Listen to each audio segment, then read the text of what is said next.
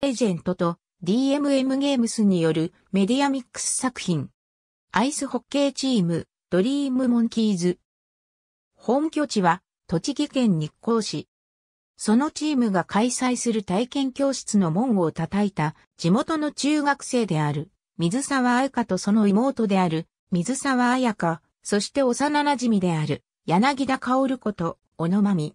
同じく参加する詐欺沼なしと高木正実も姿を現した。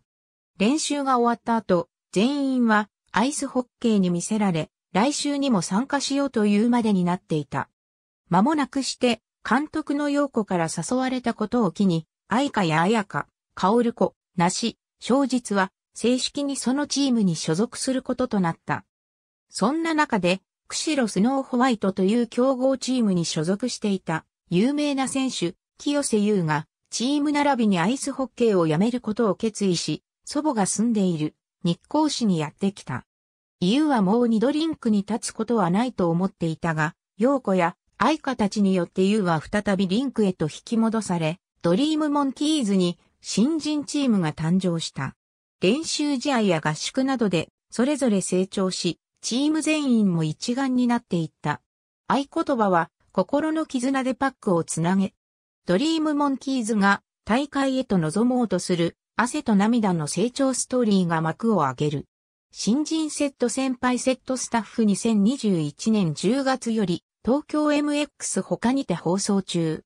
日本国外では、クランチロールメジャトーンフニマチオンアニップレスコリア、バハムート KKTV ライン TV、マイビデオフライデーチャンフオアテレコムキャッチプレイもあっち、スーシロールビリービリーアニワン YouTube にてそれぞれ配信。プラオレ。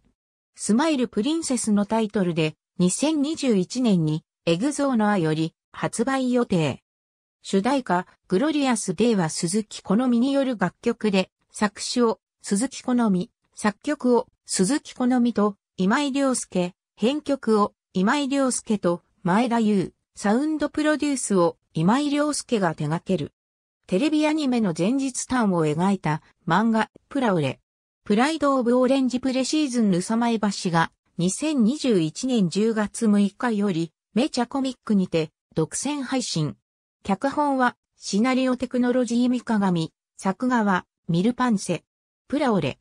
スマイルプリンセスに関するカテゴリー。ありがとうございます。